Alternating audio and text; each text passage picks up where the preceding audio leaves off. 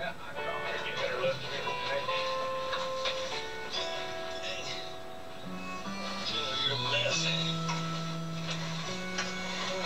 dang it. No wonder it's all wonky. What? Took a direct shot on the drive shaft, looks like. Let's see. Luke? Luke?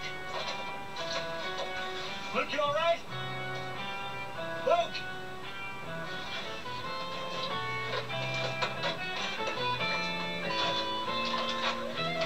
Jesse? Daisy Roscoe? Y'all, any of y'all got your ears on? I read you loud and clear, Bo. When we hit the ground, something happened to the drive shaft on the General Lee and it slipped out and hit Luke in the head. Y'all, I think he's pretty bad. You better call an ambulance, okay? We're on our way. Breaker, breaker, breaker, this is J.D. Hawthorne and Bo Duke. As the sponsor of this here event, I want to make sure that your cousin Luke is okay now so that you Dukes can't sue me later. So, you hightail that boy right over to the hospital,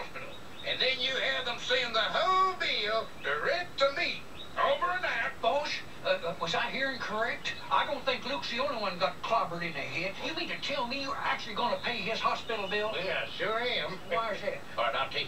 I got me an idea that just might make Luke Duke withdraw the General Lee from the Drag'n'Fly all by himself. Luke Duke ain't going to do that while he's in his right mind. Uh-huh. Not while he is in his right mind.